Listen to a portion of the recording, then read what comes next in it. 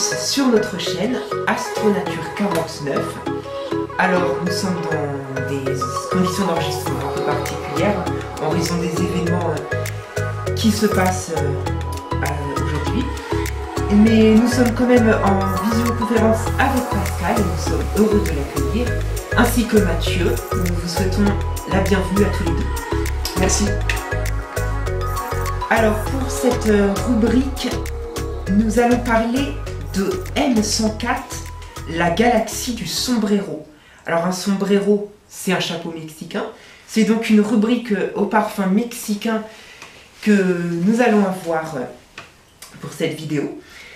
Et donc, euh, Mathieu, je te laisse la parole. Très bien, alors M104 ou NGC 4594. Alors c'est une galaxie, on en a parlé tout à l'heure, qui est donc située à environ 28 millions d'années-lumière de nous, c'est pas la porte à côté, et c'est une galaxie qui, est, qui a une masse de 800 milliards de masses solaires, elle est à peu près deux fois plus grosse, enfin non, elle est plus exactement deux fois plus massive que notre Voie lactée. Cela dit, elle a un diamètre de 50 000 années-lumière environ, ce qui fait donc qu'elle est plus petite que notre euh, Voie lactée. Donc c'est une galaxie qui est très très très concentrée, d'ailleurs elle est beaucoup plus brillante que la Voie lactée tout en étant plus petite.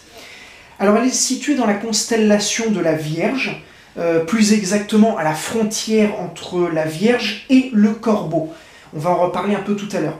De magnitude 8, euh, entre 8 et 9.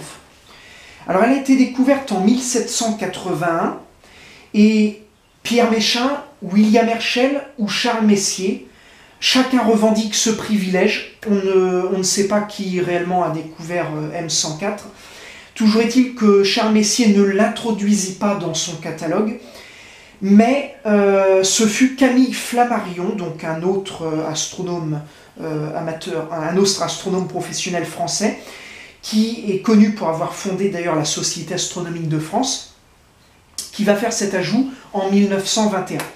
Alors en 1914, Vesto Slipher, un astronome américain, va découvrir la vitesse de déplacement élevée de M104 et va comprendre que cet objet eh bien, ne faisait pas partie de la Voie lactée. Rappelons que la notion de galaxie telle qu'on le comprend aujourd'hui était inconnue il y a à peine plus d'un siècle. Alors M104, elle est située à un tiers d'un segment virtuel qui serait tiré donc entre les étoiles Algorab et Porima, on le rappelle, entre le Corbeau et la Vierge environ. La brillante, Sirius, euh, la brillante Spica pardon, pourra servir de jalon primaire pour dégoter ces deux étoiles de deuxième magnitude, plus à l'ouest. M104 restera malgré tout basse sur l'horizon sud, sous nos latitudes.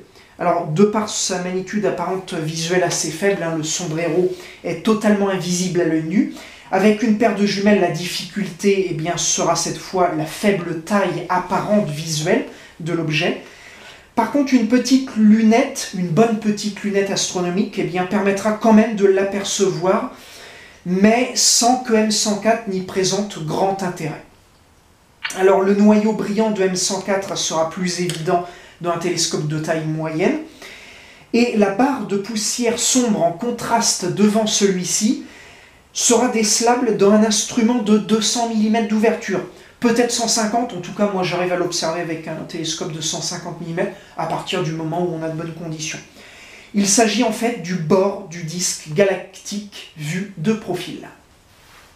Merci Mathieu pour euh, cette, euh, ces informations sur cette magnifique galaxie de son